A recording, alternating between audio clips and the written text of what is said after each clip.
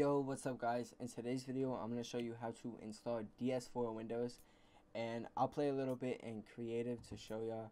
I don't know if y'all are going to be able to see the change in input lag between the controller or not. But yeah, let's get into it. Also, before I start the download for DS Windows tutorial, uh, if you could use supported creator code they-hate-shelf in the item shop, it would be greatly appreciated.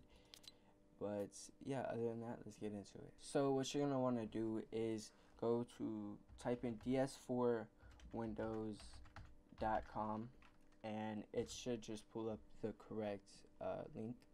Go to it, it should have all this right here. Download now. Uh, it should be the first one. I don't know if there's a higher version anywhere, but this is like what it's showing the highest version. Uh, ds4windows.zip open this, it should show up these two. I, I have WinRAR, so it's going to be looking a little bit different for me. But you should still be able to open the file right there. And it should still show ds4windows.exe and ds4windows updater. And if it doesn't click the, the file folder, which is inside of it, and it should then, you just open this. Uh, it's going to pop up install over here on the like in the middle of your screen it's going to say install DS4 Windows driver and then right below it should say install 360 Windows driver.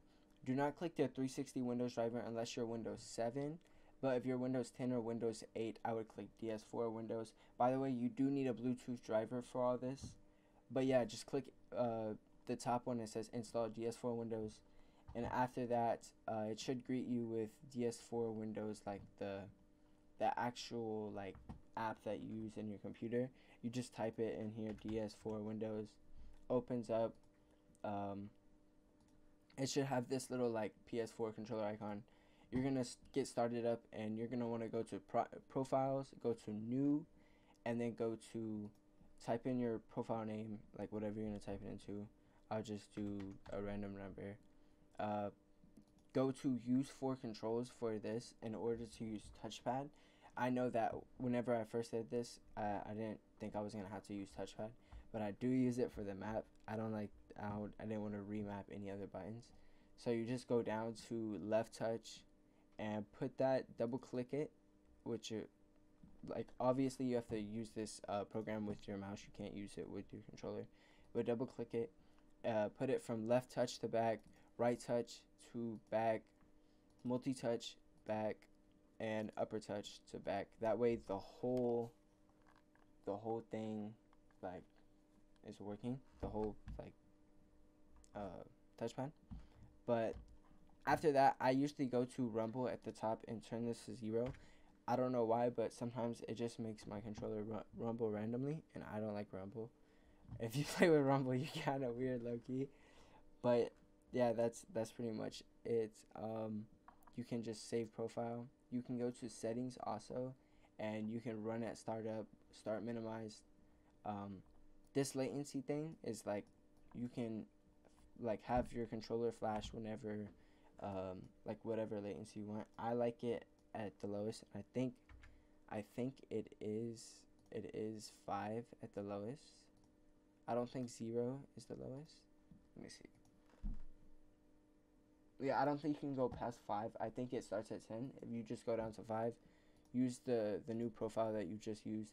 You can come over here and use custom color, and basically you can pick whatever color, or you can just make your own color through this, and it will show up on your PS4 controller. But yeah, once you do this, do not close it. Just minimize it. You can make it the the smallest like on your on your on your Windows back screen and pretty much just open up Fortnite and then play a game. That's pretty much it.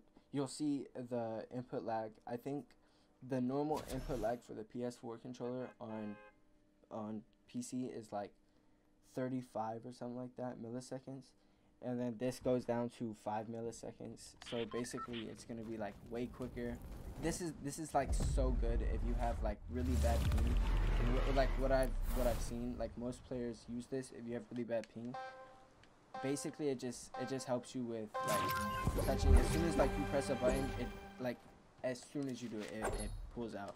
It's it's honestly like really good.